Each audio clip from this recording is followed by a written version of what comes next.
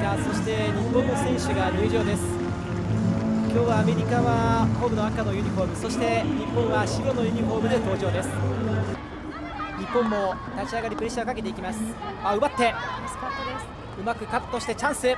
さあ清水が運ぶ。センターで入って中。おお先制しました。立ち上がりまずはゴールを決めたのは桜ジャパン。先制パンチ今尾が決めました。素晴らしい。清水選手のカットからしっかりとサークルインをしてですね、はい。的確な正確なですねセンターリングをしっかり出して、最後合わせて。いや飛び込んでいきました。23番の今尾、前半は残りまもなく4分です。サークル内入っていったんですが再びボールは出る。もう一度中に入れてチャンスシュート。押し込んだ。ナイスシュートです。決めたのは坪内。これは代表初ゴールいやいい時間帯で決めましたね、はい、非常にいいシュートだったと思います。ここ粘って一度外に出かけたんですが松本から入って最後。いや自分で打ってもう一度打ちに行きました坪内です。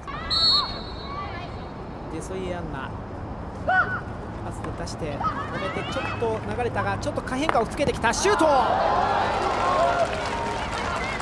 ここは活躍する部分でしたね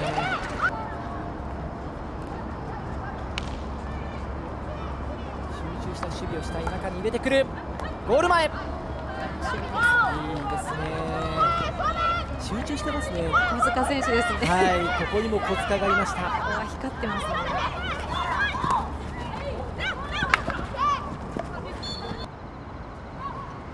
佐々木当ててその後うまくここは変化をつけてシュートを決めていきました。いや日本3点目。後半にも得点が生まれました。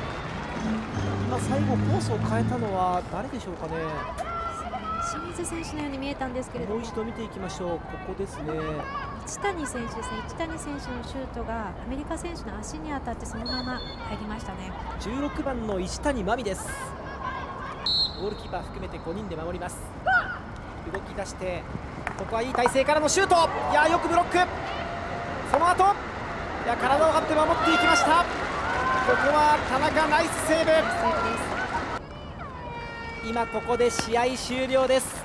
日本大会2日目第2試合で強豪アメリカから貴重な勝利を得ました。3対0勝利を収めたのは桜ジャパンです。かり自分たちのホッケーができて、えっと、3点という結果で終われたので良かったと思います。次の韓国戦もすごく大事になってくると思うのでしっかり今日みたいに立ち上がりで先制点を取れるように頑張りたいと思います。期待しています。ありがとうございました